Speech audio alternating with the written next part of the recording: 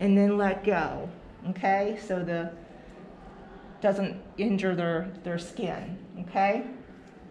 We'll record that. The next one will be the chest. The chest is done here. Your arm, your fingers are here on the individual, not here, okay? We want you to be appropriate with your client, okay? Make them feel more comfortable.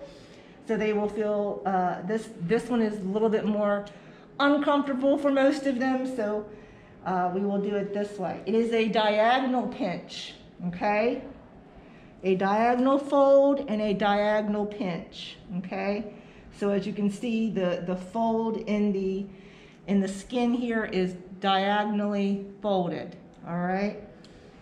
you take that measurement and you put that one down.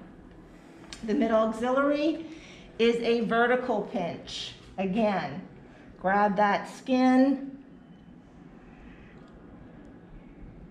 Okay, make sure that you're getting a, a good amount of skin when you do that. Okay, and let go. All right, everybody with me? The next one is subscapula. it's the one we took back here. It is a diagonal pinch. Okay, see the fold is diagonal and you're going to take that diagonal pinch. This is the correct measurement of a diagonal pinch.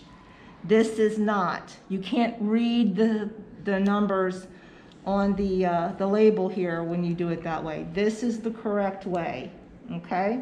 So you can get see those accurate numbers there.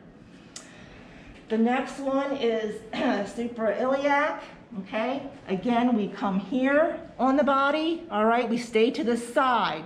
We don't go in front, all right? It is another diagonal pinch. So as you can see, the diagonal fold here in the skin, diagonal fold, diagonal measurement, uh, and then let go, okay? The next one is the abdominal pinch, okay? Stay again to the side as much as possible, all right? Grab that skin.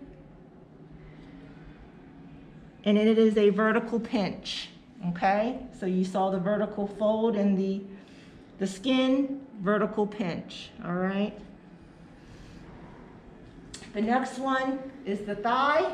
It is a vertical fold and pinch as well, okay? So again, grab a hold of that skin, kind of pull it away from the muscle, all right, and get that, that measurement there, okay? And then we go through the whole thing a second time and a third time, okay? So that's how you get seven site skin fold measurements. Thank you.